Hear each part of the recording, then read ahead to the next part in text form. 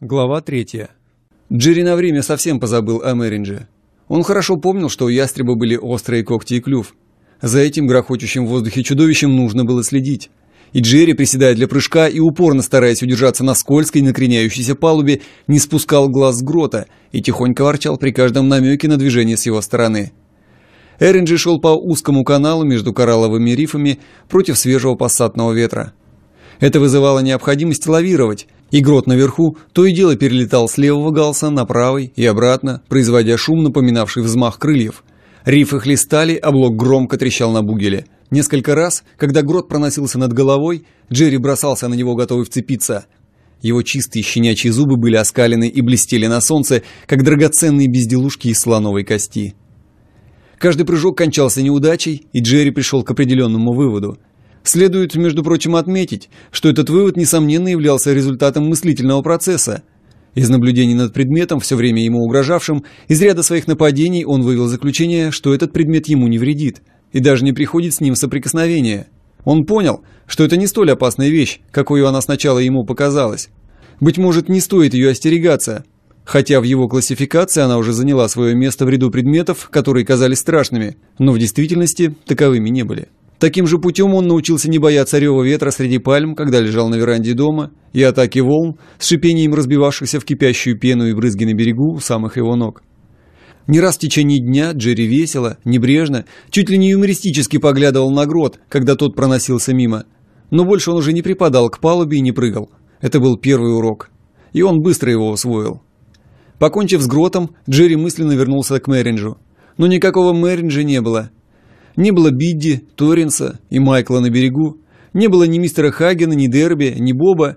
Не было ни берега, ни земли с пальмами на переднем плане и далекими горами, вечно вздымающими к небу свои зеленые вершины. Где бы он ни стоял, положив передние лапы на шестидюймовые поручни, на правом или левом борту, на носу или на корме, всюду он видел только волнующийся океан, который под напором пассата мирно и ритмично гнал свои волны, увенчанные белыми гребнями. Будь Джерри ярда на два выше, и имея он глаза опытного моряка, он бы мог разглядеть на севере низкую полоску острова Изабеллы, а на юге очертания Флориды, обрисовывавшиеся все яснее по мере того, как Эренджи, сильно накренясь, с натянутыми шкотами, полным ходом шел на левом галсе навстречу юго-восточному пассату. А имея Джерри возможность воспользоваться морским биноклем, который усиливал зрение капитана Ван Хорна, он увидел бы на востоке возвышающиеся над морем далекие вершины Малаиты – похожие на розоватые дымки облаков. Но то, что окружало Джерри, имело к нему непосредственное отношение. Он рано усвоил железный закон необходимости и научился принимать то, что есть, а не гнаться за далекими вещами. Море было. Это была реальность. Земли больше не было. Эренджи тоже реальность, как и живые существа, толпившиеся на его палубе, и он стал знакомиться с теми, что было. Короче, узнавать новую обстановку и приспосабливаться к ней. Первое его открытие оказалось восхитительным. Это была местная дикая собака, щенок из зарослей на острове Изабеллы. Ее вез на Малаиту один из чернокожих с плантации Меринж. По возрасту они были одинаковы, но разной породы. Туземная собака была собакой дикой, подлой и раболепной. Уши у нее вечно были опущены, хвост болтался между ногами, она всегда опасалась нового несчастья и новой обиды, трусливая и мстительная. Под угрозой удара злобно кривила пасть, обнажая щенячьи клыки, припадала к земле, когда ее били – выла от страха и боли и всегда была готова на предательский укус, если подставлялся удобный случай. Дикая собака физически была более развита, чем Джерри, сильнее и злее, чем он. Но в жилах Джерри текла благородная кровь, он был храбр и чистокровен. Дикая собака тоже появилась на свет в результате не менее сурового отбора, но здесь отбор носил иной характер. Из лесных предков, от которых она происходила, выживали самые трусливые. Они никогда добровольно не вступали в бой с сильнейшим противником – они никогда не нападали в открытую, за исключением тех случаев, когда добыча была слаба или беззащитна. Храбрость они заменяли нападением из-под тишка. Они ускользали, прятались от опасности. Это был слепой отбор природы. Они выжили в жесткой и подлой среде, где жизнь покупалась главным образом ценой трусливой хитрости, а иногда отчаянным нападением из-за угла. Отбором предков Джерри руководили любовно. Только смелые выжили из них – его предки были сознательно и разумно отобраны людьми, которые где-то в далеком прошлом занялись дикой собакой и сделали ее такой, какой она представлялась им в мечтах и какой они желали ее видеть. Она никогда не должна была сражаться в углу, как крыса, так как не должна была походить на крысу и забиваться в угол. Она не должна была отступать. Собаки, которые, отобранные людьми, были храбрыми псами, стойкими и дерзкими. Они кидались навстречу опасности, сражались и умирали, но никогда не оставляли поля битвы. А так как каждый рождает себе подобного, то Джерри был таков, каким был до него Терренс, и какими сотни лет назад были праотцы Терренса. Поэтому Джерри, случайно заметив дикую собаку, забившуюся в защищенный от ветра угол между гротом и люком каюты, не стал размышлять о том, что противник крупнее и сильнее, чем он. Он знал только одно. Перед ним древний враг, дикая собака, далеко обходившая костры человека. С победным и радостным лаем, привлекшим внимание всевидящего и всеслышащего капитана Ван Хорна, Джерри бросился в атаку. Дикий щенок с невероятной быстротой обратился в бегство, но был настигнут Джерри и кубарем покатился по наклонной палубе. Катаясь и ощущая острые зубы, впивающиеся в него, он то огрызался и щелкал зубами, то повизгивал и хныкал, и в этом визге слышались ужас, боль и подлое смирение. А Джерри был джентльменом. Иными словами, благородным псом. Таким его вырастили. Так как враг не сопротивлялся, гнусно визжал и беспомощно ежился под ним, Джерри перестал нападать и выбрался из-под шпигата, куда они скатились. Он не размышлял о своем поступке, он это сделал, ибо таким был создан. Он выпрямился на качающейся палубе и с удовольствием ощущал во рту восхитительный вкус собачьих волос. А в ушах его звучал одобрительный возглас капитана Ван Хорна. «Умник Джерри! Ты, Джерри, молодчина! Славный пес!» Уходя от места сражения, Джерри, можно сказать, возгордился и важно перебирал лапами. Он оглянулся через плечо на пищащую собаку, словно говоря, «Ну, думаю, на этот раз тебе хватит. Теперь не попадайся мне на пути». Джерри продолжал обследовать свой новый крохотный мирок, который никогда не пребывал в покое, постоянно вздымаясь и опускаясь на волнующейся поверхности моря. Тут находились чернокожие, возвращавшиеся с плантации Меринджа. Он решил осмотреть каждого из них – его встречали воркотню и бранью, а он отвечал грозным рычанием. Он был выдрессирован так, что хоть и разгуливал на четырех ногах, но считал себя выше этих двуногих, ибо всегда жил под эгидой великого двуногого бога, носившего штаны, мистера Хагена. Кроме того, здесь были чужие рабочие из Пендефрина и из бухты тысячи кораблей. Джерри хотел узнать их всех. В будущем это знание могло ему понадобиться – об этом он не думал, он просто ознакомился с окружающей средой, не заботясь о будущем и не осознавая, что принимает меры предосторожности. Обогащаясь опытом, Джерри быстро обнаружил, что на Эренджи, так же как и на плантации, где домашние слуги отличались от работавших в поле, существует класс людей, отличных от возвращавшихся рабочих. Это была судовая команда. 15 чернокожих, составлявших ее, были ближе к капитану Ван Хорну, чем все остальные. Они, казалось, принадлежали Эренджи и Ван Хорну. Они исполняли его приказания, стояли на руле, тянули снасти, втаскивали из-за борта ведра с водой и терли палубу щетками. От мистера Хагена Джерри узнал, что он должен снисходительно относиться к домашней прислуге. Теперь капитан Ван Хорн научил его быть более снисходительным к судовой команде, чем к возвращавшимся рабочим. С командой он мог позволить себе меньше вольностей, чем с остальными – Пока капитан Ван Хорн не хотел, чтобы он охотился за его командой, Джерри считал своим долгом не охотиться. С другой стороны, он всегда помнил, что он собака белого бога. Хотя этих негров он и не преследовал, но от всяких фамильярностей с ними воздерживался. Он наблюдал за ними. Ему приходилось видеть, как мистер Хаген стегал хлыстом своих чернокожих слуг.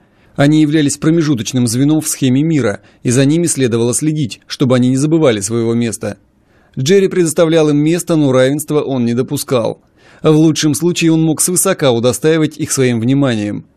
Джерри основательно обследовал кухню. Это было неуклюжее помещение на палубе, открытое ветрам, дождю и бури, где два чернокожих в облаках дыма ухитрялись готовить на маленькой печке еду для 80 человек, находившихся на борту. Затем Джерри заинтересовался странным поведением судовой команды. В поручни Эренджи были ввинчены прямые трубы, служившие подпорками для рядов колючей проволоки, которая обегала все судно. Единственный узкий прорыв в 15 дюймов был сделан для выхода к трапу. Джерри понимал, что это была мера предосторожности против опасности, хотя он и не задумывался над этим. Всю свою жизнь, с самого первого дня он провел окруженной опасностью, постоянно грозившей со стороны чернокожих – в доме на плантации Меридж белые всегда с подозрением поглядывали на многочисленных негров, работавших на них и им принадлежавших.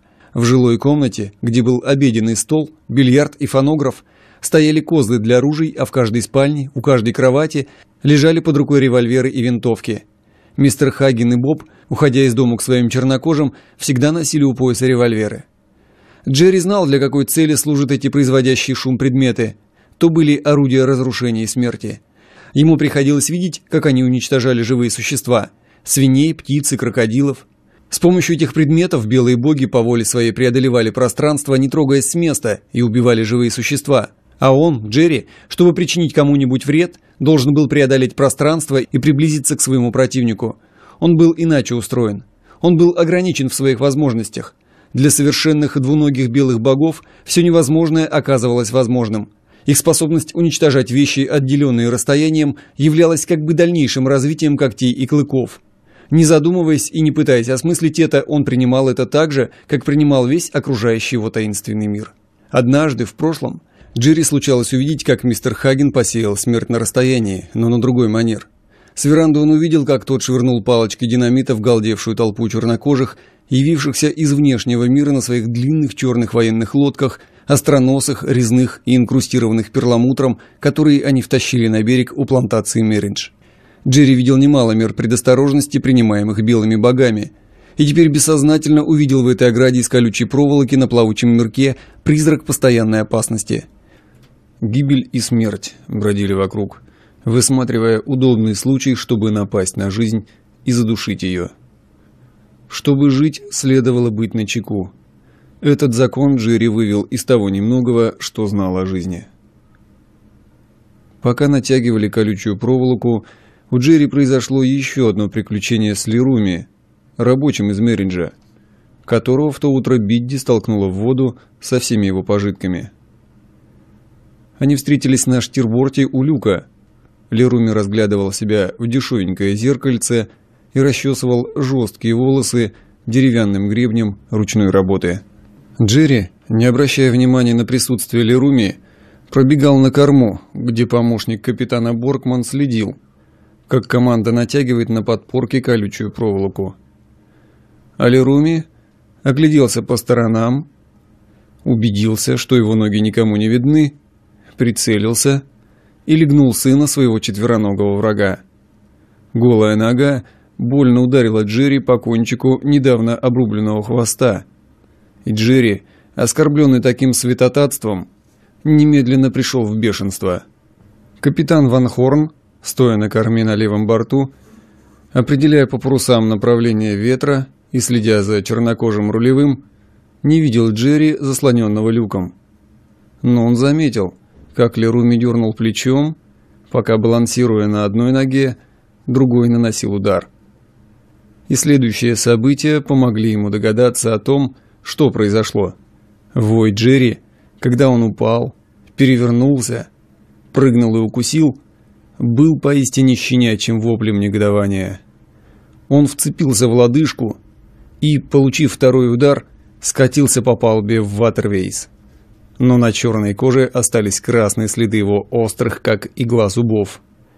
Все еще визжа от негодования, он пополз, цепляясь когтями, по крутому деревянному холму. Леруми, снова бросив взгляд по сторонам, убедился, что за ним следят, и через край хватать нельзя. Он бросился бегом вдоль люка, пытаясь ускользнуть вниз, но острые зубы Джерри вцепились в его икру. Как раз в эту минуту внезапный порыв ветра надул паруса, и Леруми растянулся во всю длину. Тщетно стараясь подняться на ноги, он налетел на колючую проволоку с подветренной стороны. Чернокожие, толпившиеся на палубе, завизжали от удовольствия. А Джерри, видя своего противника выбитым из строя и по ошибке сочтя себя объектом насмешек, с не меньшим бешенством накинулся на негров, хватая и кусая пролетавшие мимо него ноги. Они попрыгали вниз, в трюм и на трап, ведущий на полубак, взобрались на бушприт, влезли на снасти и повисли в воздухе, как чудовищные птицы. В конце концов, палуба осталась за Джерри, если не считать судовой команды. Но Джерри уже научился делать различия. Капитан Ван Хорн подозвал Джерри, приласкал его и со смехом осыпал похвалами. Затем повернулся к своим многочисленным пассажирам и произнес речь на чудовищном английском морском жаргоне. «Эй вы, ребята! Я вам говорю! Этот пес принадлежит мне, Если кто из вас, парней, этого пса тронет, тому придется плохо. Ей-богу, я из него семь склянок выбью. Вы своим ногам воли не давайте, а я придержу свою собаку. Поняли? И пассажиры, все еще висевшие в воздухе, поблескивая черными глазами и жалобно чирикая между собой, приняли закон Белого. Даже Леруми, порядком поцарапанный колючей проволокой, не ругался и не грозил. Потирая пальцами свои царапины, он прошептал «Ей-богу! Здоровый парень этот пес! Здоровый парень!» чем вызвал усмешку шкипера и оглушительный хохот товарищей. Но Джерри нельзя было назвать злым. Как Бидди и Терренс, он был буйным и бесстрашным.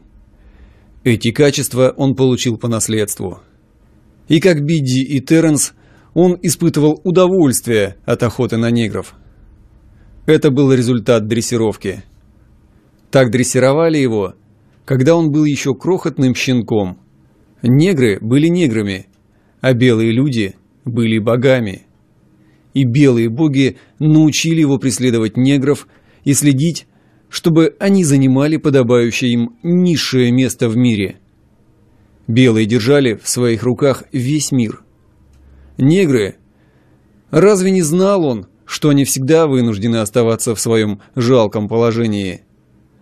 Разве не видел он, как на плантации Мериндж их привязывали иногда к пальмам, их листали по спине, вырывая клочья мяса? Неудивительно, что породистый ирландский терьер, окруженный любовью белого бога, смотрел на негров глазами белого бога и вел себя с ними так, чтобы заслужить его похвалу. Для Джерри выдался хлопотливый денек. На Эринже все для него было ново и странно. И здесь то и дело случались любопытные вещи. У Джерри произошла еще одна встреча с дикой собакой – которая предательски напала на него с фланга, из засады.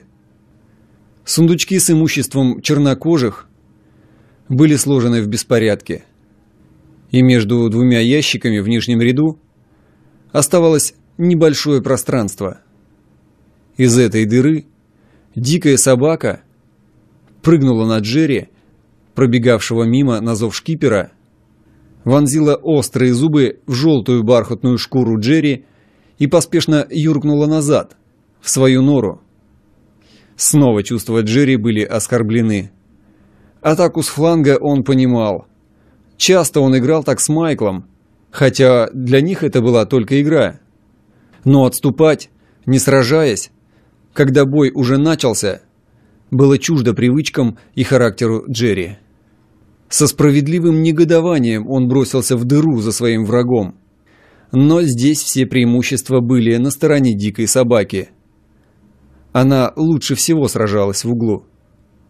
Когда Джерри прыгнул в узкое пространство, он ударился головой о верхний сундучок и через секунду почувствовал у самой своей морды оскаленную пасть врага. Не было никакой возможности добраться до дикой собаки – налететь на нее всей тяжестью, как это делается в открытой атаке.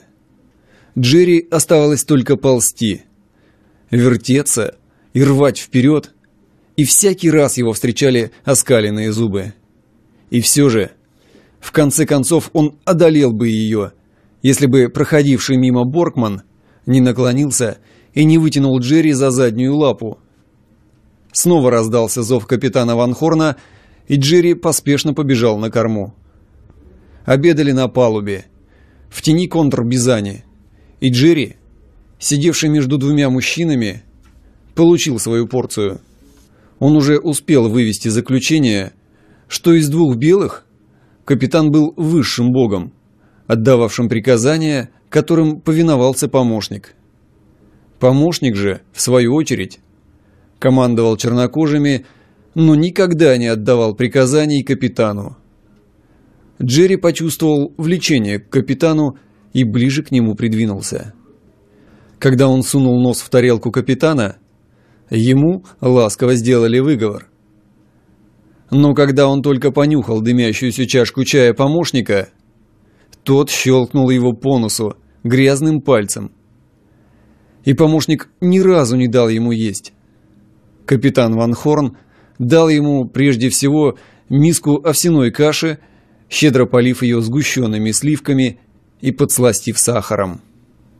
Сахару он высыпал ложку сверхом. Затем он то и дело давал ему ломтики хлеба с маслом и кусочки жареной рыбы, заботливо вытащив сначала мелкие кости. Его возлюбленный мистер Хаген никогда не кормил его во время обеда, и теперь Джерри был наверху блаженства. И, будучи еще молоденьким щенком, он до того увлекся, что вскоре стал настойчиво приставать к капитану, требуя еще рыбы и хлеба с маслом. Один раз он даже пролаял свою просьбу. Это навеяло капитана на мысль научить его говорить. И он сейчас же принялся за дело. Через пять минут Джерри научился говорить. Тихо и только один раз, мягким, ласкающим, односложным лаем – и тут же он усвоил слово «сядь», как отличающееся от «ляг», и узнал, что должен садиться всякий раз, когда говорят, а затем ждать, пока не дадут куска. Далее его словарь обогатился тремя словами. Отныне «говори» стало означать для него «говори», а «сядь» означает «сядь» и отнюдь не «ляг». Третье слово было «шкипер». Он слышал, как помощник несколько раз называл этим именем капитана Ван Хорна. И точно так же, как когда кто-нибудь из людей кричал «Майкл», тот Джерри знал, что зов относится к Майклу, а не к Бидди или Терренсу, или к нему самому. То теперь он узнал, что слово «шкипер» было имя двуногого белого господина, этого нового плавучего мира. Право же, это не простая собака – объявил Ван Хорн своему помощнику. «За этими карими глазами видишь настоящий человеческий мозг. Ему шесть месяцев. Всякий шестилетний мальчишка считался бы феноменом, если бы выучил в пять минут все, что выучил он. Да черт меня побери!